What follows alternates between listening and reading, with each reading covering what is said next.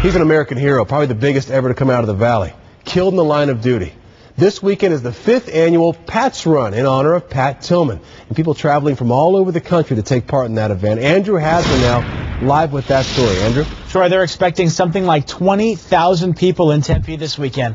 Tonight we caught up with one vet who's been running in Pat's Run for the past four years. For so many veterans, Pat's Run is a time to reconnect. You know, it kind of brings us together, and you know, you can just look at someone's face and just kind of feel that that bit of relief, like you know, you know. Cara Hammer came back from Tikrit, Iraq in 2005. She's currently at ASU and deeply involved in Iraq and Afghanistan Veterans for America. She says coming back was not easy. There was a huge disconnect with the people that I, you know, my best friends, my family, and uh, that was the toughest part is you know, becoming connected with them again. Like many veterans, Hammer also battled post-traumatic stress. Everything that I was so excited to be back a part of and um, had never felt so alone in my life. And uh, it's just, it's a, it's a hard transition to make. This will be Cara Hammer's fourth run.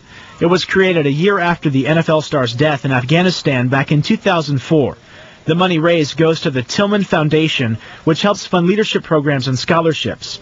For Cara Hammer, running next to fellow veterans is a nice emotional break. I always kind of suppress it, and then this is the time where it's you know, it's big, and I'm proud to be a vet, and I'm proud to be a part of something.